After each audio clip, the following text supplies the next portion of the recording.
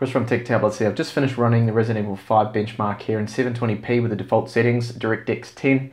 It's a fixed benchmarking set, got 19.1 frames per second here. And that's a C grade rating there, so not really playable. Now I ran some other benchmarks and more importantly, I had a look here at the temperatures to get an idea of just how run, how hot that Atom X5 Z8500 is running. I'll just show you those now.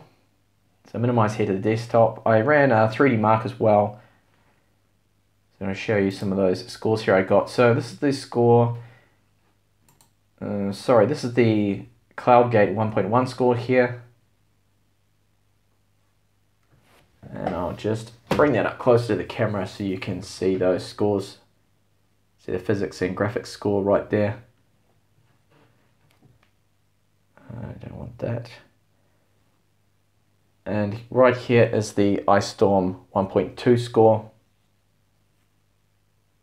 And keep an eye on the graphics score here of 20,000 and physics of 14,000 more or less. And this is the Teclast X98 Pro score before I did my mod. Okay, so completely stock. And you can see it gets a much higher score there. Now I'm not trying to make the tablet look good or bad or anything like that. These are just the scores I've got from running these benchmarks. Straightforward. If I had run this with the mod, it would be even higher than that, that I ran on the old tablet.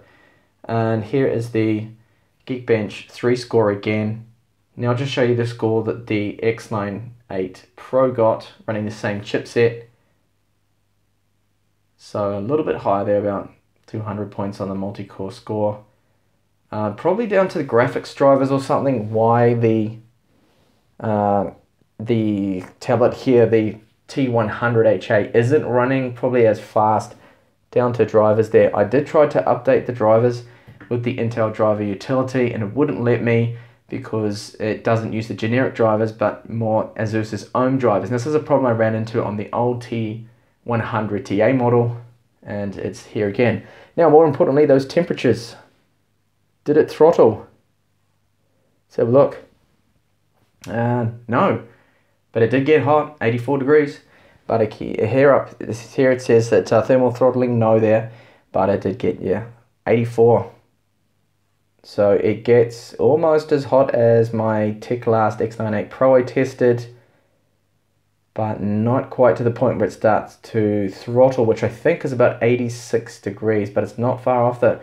I think if you were charging and gaming for longer periods, it would definitely probably throttle and I'm going to test that some more too so I will have some up and coming gaming tests of Counter-Strike, uh, League of Legends, a few other games there and by the time I finish all those test runs no doubt it will probably throttle is my guess here that uh, it will increase so I'll have to see that in a future video.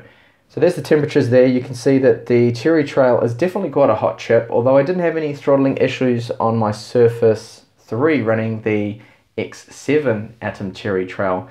That must have better cooling. I think Microsoft used the actual whole back of the tablet as a, as a huge heat sink and that never surpassed 76 degrees on my Surface 3. So a big difference there. These, these tablets here are getting a bit hotter. And the thing too here with this uh, transformer book here is the back is plastic, I think. Pretty sure that's plastic. Um, and it's not going to transmit the heat as well as the metal casing of the X98 Pro or metal casing of the Surface 3 as well. So there's a quick look there at a couple of benchmarks and the temperatures. Thank you for watching the video. I'll have more up and coming on this tablet, so do stay tuned to the channel if you are interested in that. Bye for now.